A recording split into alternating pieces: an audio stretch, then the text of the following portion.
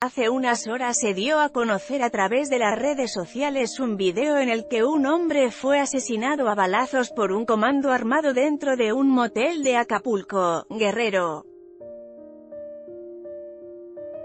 De acuerdo con Red Noticias, en punto de las 8 y 30 de la tarde horas, el sujeto cuyo cuerpo no ha sido identificado, estaba echando pasión con una fémina dentro de una de las habitaciones VIP, sin embargo, la mujer salió de su cuarto al momento que ingresó un comando armado en pleno acto sexual.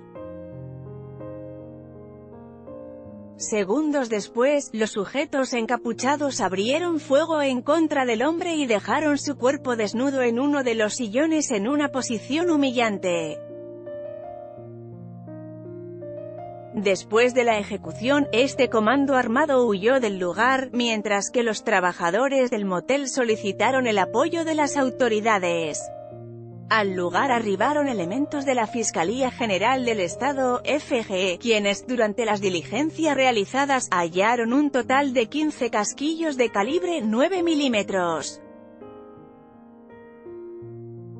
Una vez terminadas las averiguaciones realizadas por los peritos, el cuerpo de este hombre fue trasladado al Servicio Médico Forense, SEMEFO, para llevar a cabo la autopsia de ley. Se espera que sea identificado en las próximas horas.